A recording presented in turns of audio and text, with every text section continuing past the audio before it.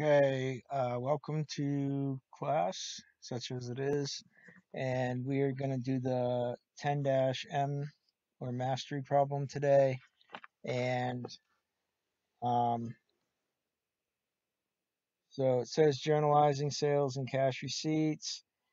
University Design sells custom and printed products. The sales journal, cash receipts journal, accounts receivable ledger forms, and selected general ledger accounts are given in the working papers. Journalize the transactions on page 315, completed during the remainder of March in the appropriate journal. Use page 3 of the for the sales journal and page 3 of the cash receipts journal. Post any transactions impacting accounts receivable to the accounts receivable subsidiary ledger when the transaction is journalized. The sales tax rate is 7%. Source documents are abbreviated as follows. Receipt is R, sales invoice S, and terminal summary is TS. So the first thing we need to do is on March 3rd, sold merchandise on account to trailer stores, $3,248 plus sales tax, sales invoice 321. so we have March 3rd, trailer stores, sale number 321, sales credit $3,248. Multiply that times 0.07 and you'll get the sales tax. Then add the sales tax to the sales credit and you'll get the accounts receivable debit. That's how much they owe us. And then we owe the government part of that.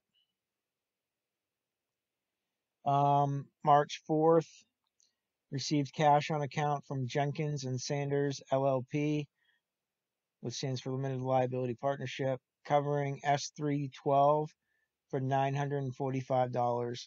So we need to go to the cash receipts journal and I'm I'm not going to keep switching this around, so just bear with me. March 4th, Jenkins and Sanders LLP, R348, $945 accounts receivable credit, and $945 cash debit. March 5th, record cash and credit card sales, $1,485 plus sales tax, $92.14 for a total of $1577 and 14 cents. So that's in the cash receipts journal as well. On March 5th, check mark terminal summary 6 for your document number, check mark in the post reference. Sales credit, $1,485. Sales tax payable credit, $92.14. And the total is $1,577.14 in the cash debit. Um, March 9th, received cash on account from Luxury Suites, $4,219, covering sales. Uh, invoice 320 less a 2% discount are 349 so that's cash receipts because we received the payment. March 9th luxury suites receipt 349 accounts receivable credit $4219 uh, if we do that times 0.02 we'll get the discount of $84.38 and then we subtract 84.38 from the 42.19 to get the $4,134.62. March 10th, sold merchandise on account to Southwestern University for 14.35. So we go to the sales journal. It's not cash receipts because we sold it on account and it's Southwestern University. Sales invoice 322, accounts receivable debit of 1435, and sales credit of 1435. Uh, there was no sales tax because they are exempt. On March 12th, received cash on account from Daniel Smith Promotions, $1,417. So March 12th, Daniel Smith Promotions, R350 for receipt 350. Um, 1471 and 1471. There was nothing, uh, no discount or anything like that in that one. And then March 16th, received cash and credit card sales, $1,020.50 plus sales tax, 64.59. So 1,020.50 under sales credit, 64.59. And then if we add those two together, we get $1,085.09. Total prove and rule the sales journal. So we'll go to the sales journal. You need to total these up.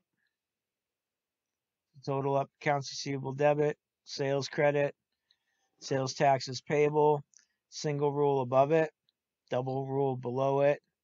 And then we need to prove it. So we're going to take accounts receivable debit, which is this right here, and we're going to pull it down here.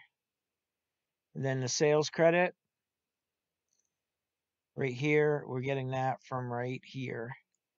And then sales tax payable, we're going to get that from here, here, and then to prove it, we're going to pull this number down, and we're going to add these two numbers to get that. These two numbers match, so we entered things correctly up above.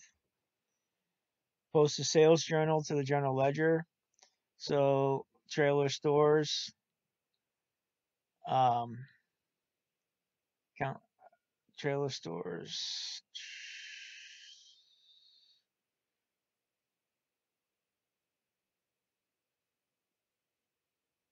Uh, to the general ledger. So we're moving, I'm sorry, we're booking to the general ledger. We're taking these totals, right? Uh, so accounts receivable debit. And this is accounts receivable ledger. We want the general ledger. Accounts receivable debit right here. That's the 491036 that we that I highlighted above. It's sales three, sales journal three, and it's a debit balance. It's a debit transaction. We add them together and we get a bigger debit. We have to take the 1130 back up here, and uh, this is my least favorite part. 1130, and we're going to enter it underneath the total uh, in parentheses. Now we're going to take sales credit of 4683. We're going to go to the general ledger. Uh, sales credit 4683. Don't forget to put the date. Sales journal, page three. And it's a credit balance. It's a credit entry. So the credit balance went up. And then we're going to take 4110, account number. And we're going to go back and do our reference, our post reference there, right here.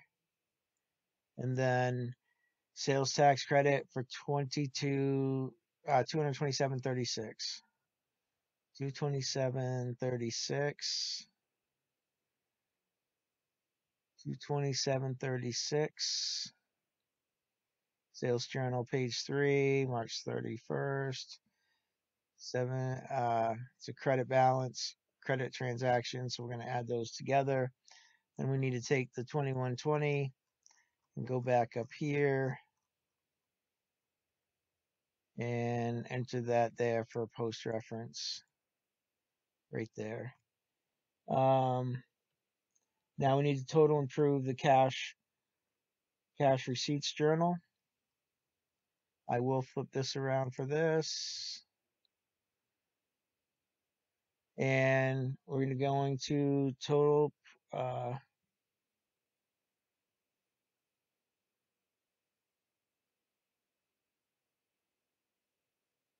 cash receipts journal.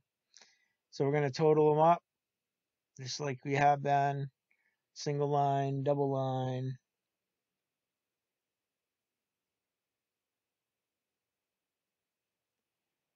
And prove the cash receipts journal. So once you've added these all up, we're going to pull these down. I'm going to zoom out.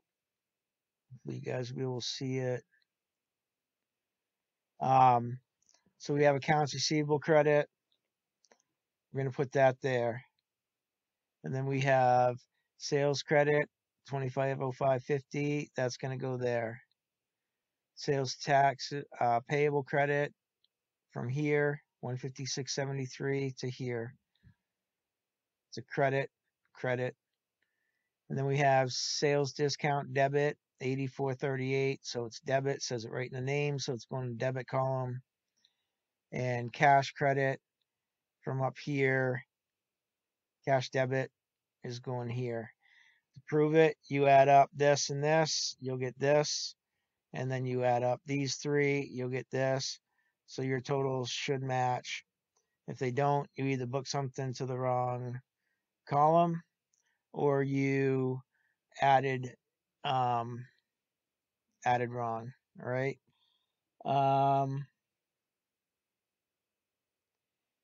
next up, number five, prove cash. Need to prove cash.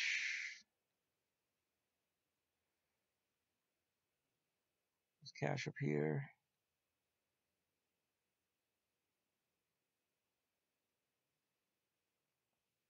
Sorry, I should have looked where cash was. Here's cash. Uh, March 1st balance of the general ledger ledger cash account.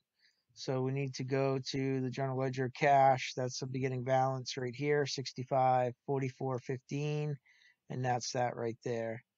And then cash debit column total cash receipts journal.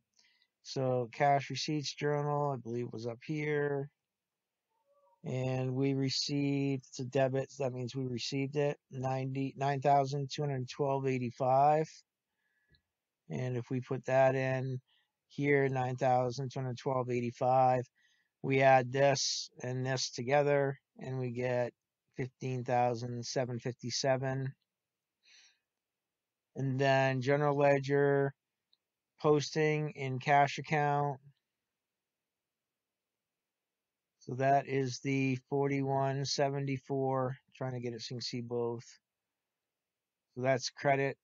That's what came out of cash. And then cash on hand at the end of the month. So this one right here is coming from here in your general ledger. And then this one here is what they give you in the book on page 315 where it says um, the next unused check stub, the balance was 11,582.54. These two match, so we proved cash. Now we're going to rule the cash receipts journal.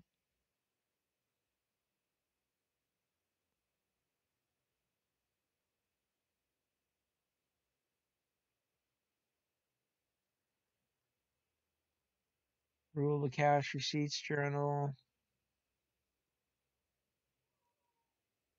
Okay. Post the cash receipts journal to the general ledger. I guess I didn't need to flip this. Um,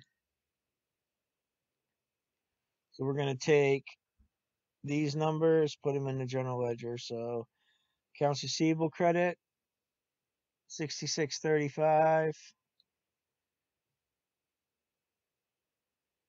6635 right here. Accounts receivable credit. It's a debit balance, credit transaction, so we subtract. And that's cash receipts, journal page three. And we're gonna take that up, eleven thirty. Right here. Sales credit, twenty-five oh five fifty sales right here 250550 cash receipts journal page 3 March 31st this is a credit balance credit transaction so we're going to add then we're going to take the 4110 go back to here 4110 Um, sales tax payable credit, 156.73. Sales tax payable credit right here. Don't forget the post reference. Don't forget that. It's a credit balance, credit transaction. So we're going to add, and then we're going to take the 2120, go back up to the cash receipts journal, put that in there. And then we have sales discount credit 8438. Sales discount credit right here. Uh, that's a debit. 8438. Cash receipts journal, page 3, 31. It's a debit balance, debit transaction. We're going to add them. I'm going to take the 4120, go back to the cash receipts journal, put that in right there. And then last one, cash debit, 90 to 1285. Um, cash debit.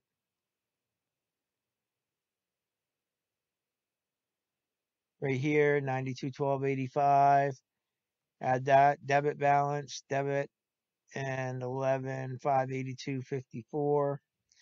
We're going to take this back and put it in here. All right, so this is where I've stumbled a couple times trying to see if I skipped something. I do not see where it says to book anything to the um, to the uh, accounts receivable ledger. So I'm assuming It doesn't say anywhere that I see any instructions to book to the. So here's the deal. I'm going to scroll real slow. You can freeze the video if you need these numbers in there. Unless I am just completely blind today, I do not see where it's saying we had to book this. So maybe it was already in there and it doesn't show me on mine when stuff's already filled out. So if you did have to fill it in, there it is. Freeze it before you go on to the next step.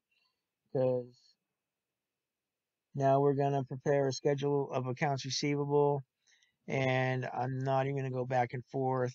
At this point, you know you take the ending balance from each one and put it in here and then add them up. Single lot rule above, double rule below. All right, so here's where you earn your participation grade for today's class. Um, I got good news and bad news for you. So we've done all these exercises, these big problems, and the on your own, the work togethers, the um, application problems, and now the mastery. Um, so the bad news is I made you do all of these, even though I've known for probably four or five days. Um, there's no real way I'm going to be able to test you on this. Uh, the pictures that you guys send me are great uh, to prove that you did something, but there's no way I can uh, grade off of that. So I'm not going to um, I'm not going to send you those pages, have you print them, fill them out, take pictures, and send them back because they're almost useless. So your test is going to um, consist entirely of uh, the rest of the test. So it's going to be similar to what you're I don't have it in front of me, but it's gonna be like matching and true and false and multiple choice, um, those types of things, which is what your homework is gonna be tonight is your study guide. Um, so here's the deal. Go into your uh, into our discussion board, and if you are happy that I'm not give testing you on that stuff, say thank you, coach. If you're not happy or if you're more irritated with me um, because I made you do all of that, even though I knew I wasn't going to test you on it, um, you can say you're terrible, you're a terrible person, coach. Um, all right, and don't tell each other. This is how I'm checking. I know everybody's not watching the videos because I can see the count on it um, through my analytics on the YouTube channel. So this tells me who's watching it or not. All right. So study guide tonight. Thank you.